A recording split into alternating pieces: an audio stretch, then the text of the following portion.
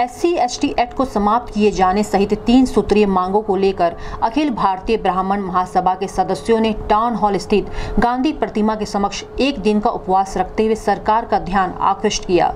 उपवास पर बैठे महासभा के कार्यकर्ताओं का कहना था कि एससी, एसटी एक्ट को तत्काल प्रभाव से हटाया जाए।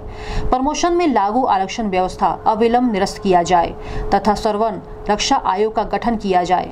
कार्यकर्ताओं का कहना था कि अगर सरकार हम लोगों की मांगों पर विचार नहीं करती है तो संगठन चरणबद्ध आंदोलन को बाध्य होगा। इस मौके पर महासभा के राष्ट्रीय अध्यक्ष डॉक्टर के सी पांडे, कार्यकारी अध्यक्ष अनूप पांडे, संयोजक पंडित चंद्रशेखर शर्मा सहित अन्य पदाधिकारी व कार्यकर्ता मौजूद रहे।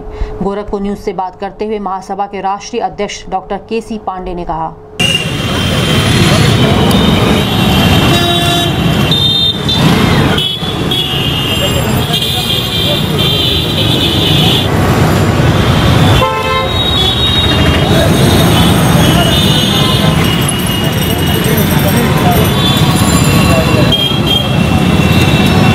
अखिल भारतीय ब्राह्मण महासभा सवर्ण एकता परिषद, परशुराम सेना के कार्यकर्ता आज एक दिवसीय उपवास पर बैठे हैं।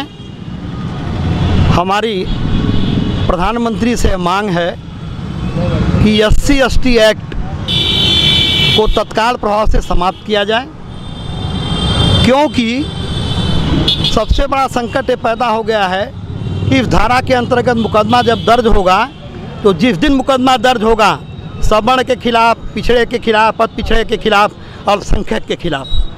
तो दलित समुदाय को तुरंत पच्चीस हज़ार रुपये पेमेंट हो जाएगा सरकारी खजाने से। और जिस दिन हमारी सज़ा होगी, उस दिन को सवा लाख रुपये मिलेगा सरकारी खजाने से। तो इस एक्ट को, अब तो ये हो गया कि तत्काल जेल भेजा जाएगा छः महीने तक विचार ही नहीं होगा जमानत पर। छः महीने बाद विचार होगा जमानत पर। तो एक निर्दोष को आप अनावश्यक जेल भेज रहे हैं इसमें हमारा विरोध है कि S C S T act को समाप्त किया जाए।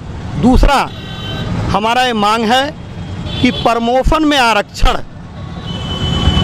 हालाँकि पिछली सरकार जिसमें हम स्वयं मंत्री थे, समाजवादी सरकार ने प्रमोशन में आरक्षण समाप्त कर दिया था और अभी इस सरकार की हिम्मत नहीं पड़ रही है केंद्र के आदेश के बावजूद कि यूपी में लागू कर पाएँ यूपी, उत्तराखंड पूरे हिंदुस्तान में दो राज्य ऐसे हैं जहाँ प्रमोशन में अभी आरक्षण लागू नहीं हो पा रहा है।